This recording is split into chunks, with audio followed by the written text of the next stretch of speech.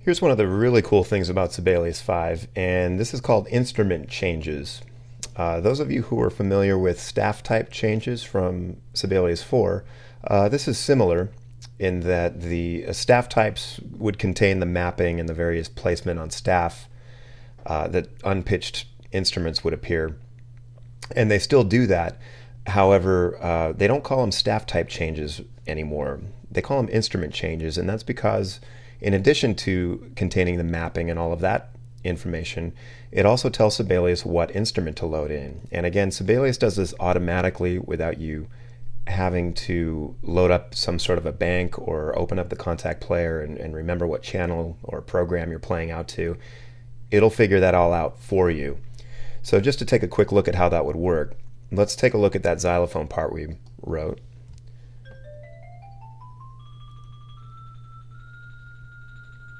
Okay, so after a couple bars, let's say we want our xylophone player to switch to glockenspiel.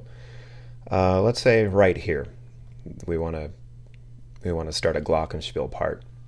What I'm going to do is go to Create, Other, Instrument Change, and uh, if you watch the previous screencast, we actually did a key uh, keyboard shortcut for that. So I would normally just hit Command I to, to come here.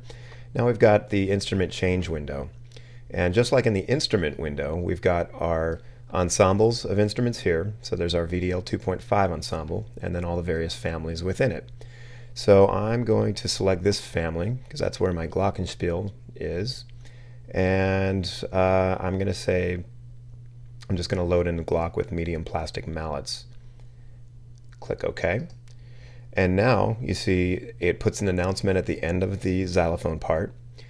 We've got a glockenspiel part and hidden we see that it's using medium plastic mallets. And this little rectangle right here whoops I'll zoom in on it so you can see a little bit better.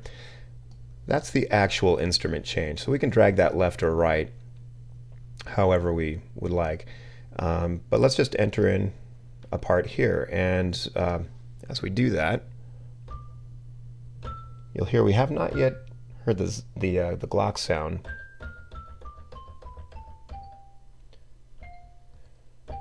but when we go to play, you'll see real quickly there, uh, Sibelius just loaded in a Glockenspiel so it knows when it encounters this instrument change, it's going to actually play that back. There's our xylophone part, got a bar of rest.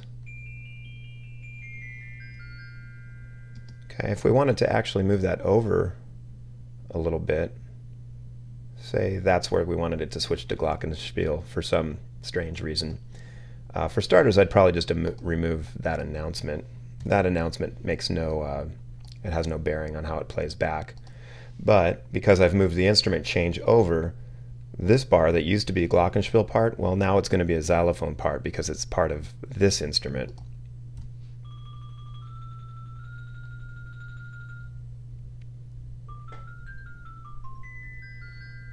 Okay, so right as soon as it encountered the instrument change, that's when it swapped to the new instrument. Now let's say we want that glockenspiel player or xylophone player to switch to a triangle. What we're going to do is um, right here we're going to put a triangle instrument change. So again I'm going to hit Command I, that's my instrument change shortcut.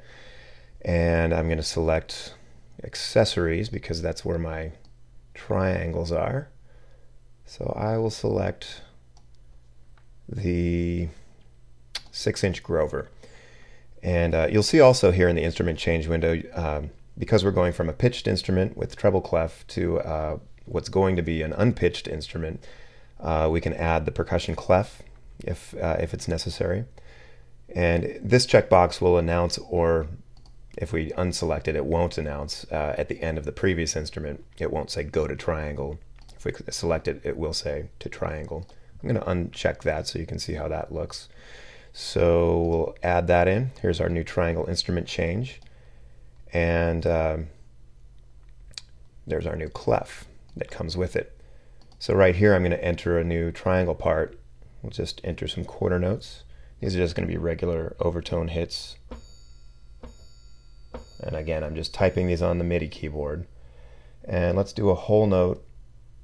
And this will be a roll. which I know is on my A key. So I've just entered that in. So now when we come from our Glock part and get to here, we should immediately hear it switch to triangle. And again, because that's a sampled triangle roll, Sibelius is not trying to uh, synthetically play a series of MIDI attacks to, to give the sound of a roll. It, it knows that the sample is going to play the roll for us.